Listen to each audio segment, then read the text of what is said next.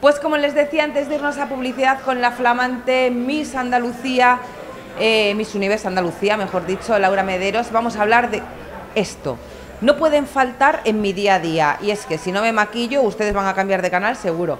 Este es un pincel de base de maquillaje, pero como ya saben desde hace un par de semanitas tenemos un nuevo colaborador que nos habla de cosas de maquillaje, de trucos, de tips y en este caso ha decidido que vamos a aprender a utilizar correctamente los pinceles. Él es Juan Rollo y te damos la bienvenida a Makeup Artist. Hola, hola, buenas tardes. Juan, como yo decía, este es uno de los pinceles de maquillaje porque o brocha, porque Sí. hay varias brochas diferentes para aplicar la base de maquillaje. Exacto, he traído, he traído unas eh, brochas. Bueno, tú tienes una que es bastante cómoda, que es bastante Sí. fácil.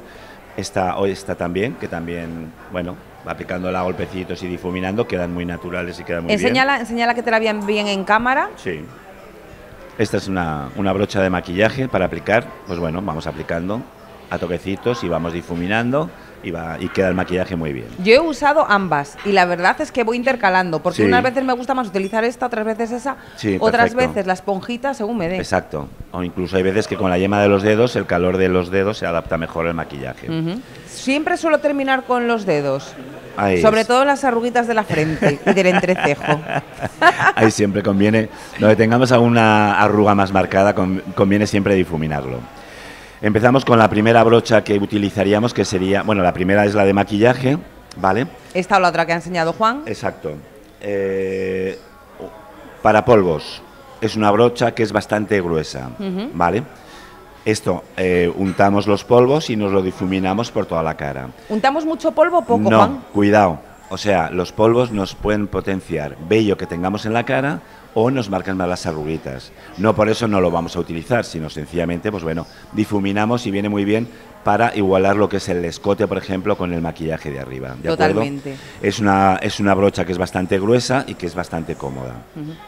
Siguiente brocha que vamos a utilizar sería la de colorete. Es un poquito más estrecha, es un poquito más estrecha que la de polvo. Fíjate que yo el colorete lo utilizo al final del todo. Bueno, por orden sí, lo puedes hacer perfectamente. Quiero decir que el tamaño es más pequeño, tú puedes apretar la brocha en un momento determinado para marcarte más el colorete. ¿De acuerdo? Luego al final ya difuminas. Siempre en forma un poquito ascendente, ¿de acuerdo? Para que nos rejuvenezca y nos haga más. Y te he visto hacer así, en forma de media luna hacemos Sí. el colorete. Hacia arriba, siempre Hacia un poquito sien, hacia ¿no? arriba, hacia la sien, ¿vale? No subiéndolo mucho, acordémonos en el que esta zona no apliquemos eh, colorete, porque a la hora de estar hablando o gesticulando nos va a marcar las arruguitas, ¿de acuerdo? Oye, el otro día estaba yo pensando, digo, ¿hasta qué altura, no altura, sino hacia dónde dijo Juan que no tenía que pasar el colorete? El colorete tú vete al ángulo de tu ojo, Sí, donde acaba tu ojo, sí. y ahí es donde debe de nacer o donde debe terminar. Vale. Es ¿vale? que digo, dijo un punto específico, Sí. pero no me acuerdo dónde era. Si tú pones el, el, Vale. El palo del colorete así, Sí. donde acaba el, el ángulo tu de tu ojo, Sí. ahí es donde te dice dónde debes de terminar. Mira, el ángulo del ojo vale para todo, ¿no? Sí, la verdad que el ojo. Porque el ojo- también las sombras no tienen que pasar de ahí, ¿no? Así es, el ojo nos sirve básicamente para todo. Eh, Sobre todo para mirar. Este es un pincel que es un poquito más grueso. Habrá gente a lo mejor que lo pueda utilizar para sombras. Pues se puede utilizar para sombras o para difuminar o para iluminar debajo del ojo. Ajá. ¿Vale? Se puede untar un polvo compacto que sea más claro y difuminamos por debajo pues para darnos un poquito más de luz. Vale. ¿De acuerdo? Después ya tenemos uno más compacto y más pequeño. Este es un pincel de sombra. Pinceles de sombra, eh, ya entraremos en otro apartado que haremos para el maquillaje de ojos, para enseñar a, a la gente. Debe de ser un poco efecto limpia parabrisas. Ujú. ¿Qué significa? Yo pongo el golpe oscuro del Sí. ojo y me lo llevo todo hacia adentro. Sí. ¿Vale? Queda claro el... Yo, yo es que lo hago así, sí. Ah, bueno. ¿Queda, ¿Queda claro el efecto limpia parabrisas? Así, sí. De fuera hacia adentro. Porque si empezamos de dentro para afuera, puedes terminar con, con Sí. la sombra aquí arriba. ¿vale? Totalmente. Y yo siempre digo de empezar con la sombra oscura, pero eso ya lo hablaremos para cuando hablemos en los maquillajes de ojos. ¿de Vale, yo también estoy contigo. De hecho, ayer que me apliqué la clara antes me acordé de ti que no lo sabes tú bien. ¿Sí? Porque encima de la clara el oscuro no se queda. es que es así. Por lo tanto, lo que tuve que hacer, ¿sabes? Para solucionar eso al final, eh, ponerme un lápiz marrón oscuro y difuminar, porque si no, la sombra no quedaba. Ah, Oye, una lleva muchos años maquillándose y sabe truquillos también. ya, pero bueno. Y luego me voy quedando con cosas como, por ejemplo, las de Juan, que yo no sabía dónde tenía que terminar el colorete y más cositas que me va contando él. Eh, este es otro pincel que es plano, que también nos puede servir en un momento determinado como para difuminar la, la corrección o va muy cómodo para aplicar un lapicero de ojos que apliquemos encima de las pestañas y con él difuminar. Vuelvo a decir, siempre difuminamos todo de fuera hacia adentro. Que os quede un poquito ese concepto. Vale. ¿vale? Me- que- creo que menos una cosa. A ver, dímelo tú.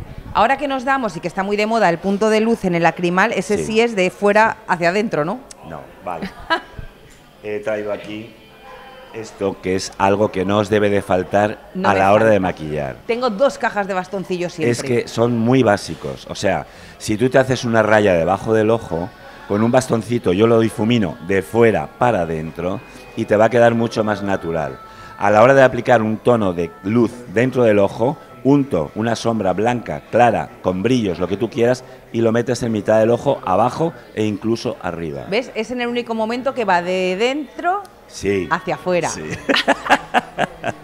lo has pillado. Es el Vale. único momento, sí. Vale. Y que la gente, por favor, por favor, estos avisos navegantes, que no se pasen con el iluminador, que es en el lacrimal y dos o tres milímetros Exacto. hacia adentro, que hay gente que se pone una pedazo de iluminación aquí que le hace el ojo más pequeño, ¿no? Sí, bueno, eso ya lo explicaremos en el, en- Vale, en, el apartado, en el de apartado de sombras. Y después tengo el pincel de boca. Siempre conviene eh, eh, dibujar lo que es tu boca y luego con un pincel, antes de aplicar cualquier esto, difuminarlo. Ajá. Que te va a quedar mucho más natural. Ah, mira, yo lo difuminaba con el dedo. Voy a probar, porque yo sí que me he hecho el labial con Sí. el pincel, Sí. pero sí que es verdad que el perfil me lo difuminaba con el labio. Voy a probar con el pincel. Probar con el pincel porque queda mejor siempre. Vale, y luego ya perfecto. aplicas el, el- El labial. labial directamente encima. Y esos son básicamente casi todos los que... O sea, hay más pinceles, pero bueno, los hay que son como unos... un- un- Abanico. como un abanico que viene muy bien para difuminar, para limpiar, para... Bueno, Yo se lo utilizaba, en su día lo compré para limpiar y terminé utilizándolo para eh, el iluminador iluminar. del pómulo. Exacto. Queda muy bien para iluminar. Y Porque hay ahora- veces que lo ves en forma de abanico y dices, ¿y esto para qué es? Sí. Pues bueno, es para difuminarlo. Ahora tengo una duda, Juan. Dime. Eh, además también es que me ha pasado el otro día con un pincel. Bueno, ¿cómo se limpian las brochas y los pinceles? Vamos a ver, yo siempre digo que compréis buenas brochas. O sea, es, es una inversión a largo plazo. Yo las lavo con un champú mismo, o sea, que sea Claro que no deja de ser pelo. exacto. Lo, lo, lo fría- o sea, lo lavas muy bien en agua con con champú y luego ya lo dejas secar hasta que se seque. Puedes apretar un poco la brocha con un Kleenex, pero déjalo que se seque naturalmente. Y luego ya una vez seco lo puedes difuminar el, el pincel y queda nuevo. ¿Cada cuánto tiempo hay que limpiar los pinceles y las brochas? Si son tuyos, claro, no son Hombre, de si maquillador. no, si que- son, no, yo los míos cada vez que hago un maquillaje Por se, eso se- digo. se desinfectan. Yo lo que pasa es que los he llegado a limpiar hasta con alcohol. Se Yo ahora también le estoy echando alcohol, pero para lavarlos, para primero desinfectar y luego los lavo. Exacto. Pues no sé, pues a lo mejor cada 15 días. No está mal. ¿Vale? Los Porque claro, terminan cogiendo bacterias, la Exacto, grasa de exacto. la piel. Sí que también aconsejo, en el caso, por ejemplo, de que tengáis una brocha sola para colorete, que tengáis para dos tonos. Uno para rosas, si os ponéis rosas, y otro para marrones o beige. Porque si no se mezclan mucho los colores. Me parece estupendo y un buen truco. Lo mismo digo para eh, los pinceles de sombras. Tener uno para oscuro y otro para claro, porque es que si no, o sea, si tú untas primero como hacemos el oscuro, El oscuro. y luego vas con el claro encima del oscuro, vas a tener ahí un empaste que no, que no lo vas a saber hacer. Pues fíjate, voy a empezar, además que tengo un montón de pinceles sin estrenar, porque claro, tengo que tener pinceles mm, a diestro y siniestro prácticamente.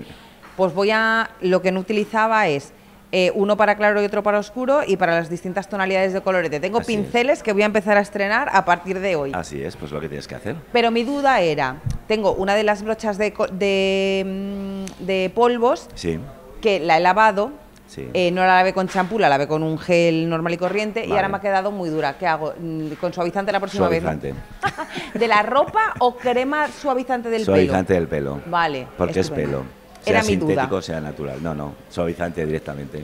Pues brocha, que sepas que este fin de semana te vas a ir al acondicionador del pelo o la mascarilla, depende de lo dura que te quede. Te quedará mucho más suave, ya lo verás. Juan, muchísimas gracias por acompañarnos de nuevo. Gracias a vosotros, como y siempre. nos vemos eh, la, semana, La que, semana que viene. viene. ¿Qué vamos a tratar para que la gente esté pendiente? Ojos. ¿Ojos? Sí. ¿Sombras? ¿Eyeliners o qué? ¿O todo junto? Todo, o sea, la forma de maquillarte un ojo. Según Perfecto. tengas tu ojo, o sea, es muy amplio como para que podamos eh, hacer lo que quieras, ¿vale? Totalmente. Eh, lo siento por aquellas que tengan menos párpado que yo, porque yo la verdad que es que no termino con las sombras. Eh, tengo una cantidad de párpado que digo, madre mía, si puedo dibujar aquí mm, la costa de Torremolinos. Juan, lo dicho, muchísimas Vale. gracias por acompañarnos y nos vemos la semana que viene. Gracias a vosotros. Ojos, no con este pincel, ¿eh? con el que nos ha dicho Juan. Exacto. Nos vamos a publicidad y a la vuelta tenemos a Inma Valverde con ganas de reñir.